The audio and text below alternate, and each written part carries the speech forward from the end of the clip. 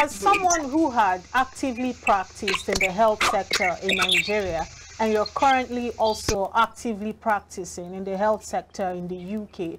What are the what are the differences? What are, what are the things that you know that you would say that Nigeria can look up to, pick up, you know, while trying to improve our health sector down here from the health sector where you currently practice?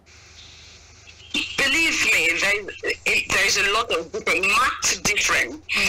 Fine, Nigeria, we're trying but when it comes to the health sector, we're a bit underdeveloped. Okay. Because I'm practicing in a different sector. Back in Nigeria, I was in the community. Here, I'm an adult nurse. So, a lot of training goes into the nursing sector, into the health sector generally, because you find out that when I came to the UK, I couldn't even practice. Oh. I was there was something they called supernumerary. I wasn't in the numbers. I had to be trained and retrained, irrespective of my experience back home. They had to make sure I got acquainted with what was going on within their own healthcare sector. And it comes down the ladder whether you're a senior staff nurse, whether you're a matron, whether you're a healthcare assistant, you get the new basic training they need you to have. Funny enough, at the beginning I was pissed, I was annoyed because even cannulation down to setting an IV line, I was I had to get trained and signed off for those competencies before I could practice.